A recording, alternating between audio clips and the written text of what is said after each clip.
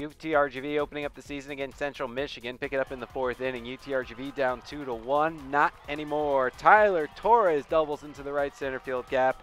That brings home Ivan Estrella, and UTRGV ties the game at two.